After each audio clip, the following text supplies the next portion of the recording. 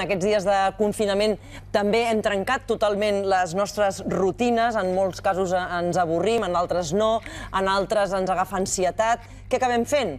Doncs moltes vegades anar a la nevera, picar alguna coseta. Tenim preparada ja a la Carla Plana, és nutricionista, que aquests dies, a través del seu compte d'Instagram, també està donant tot un seguit de consells perquè aquest confinament eh, no acabi en què ens portem una sorpresa després quan provem la, la bàscula.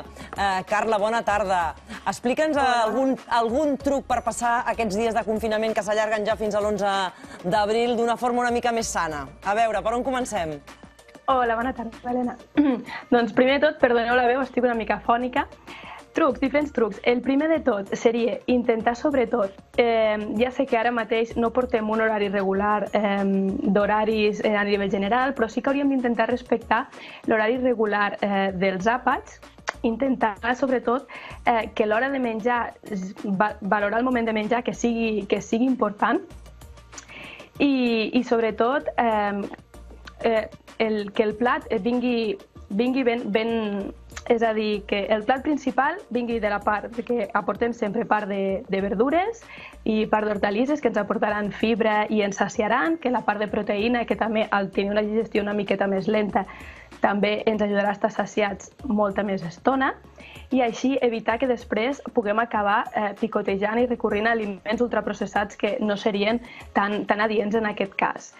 Llavors, intentar també en els àpats principals menjar una miqueta més a poc a poc i mantenir-nos hidratats per, perquè, per ajudar a fer millor les digestions.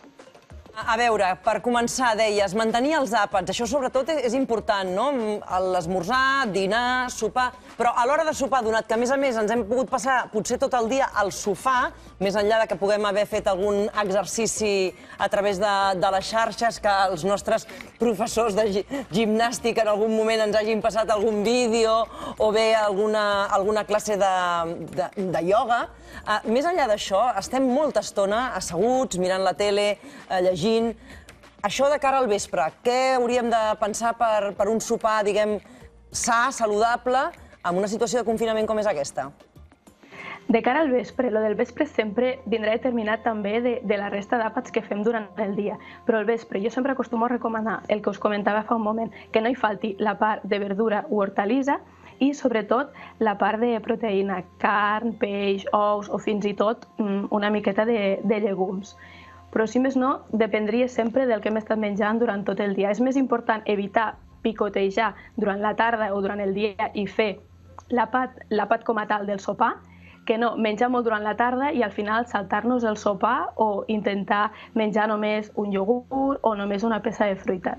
És important seguir la regularitat en els, en els horaris i en els àpats, tot i que estem en aquest període que és molt, molt diferent al que vivim normalment. Doncs Carla, moltíssimes gràcies. Seguirem al teu Instagram, també et seguim aquí al Tot es mou. Ens aniràs donant consells per passar aquest confinament de la forma més sana possible, a nivell també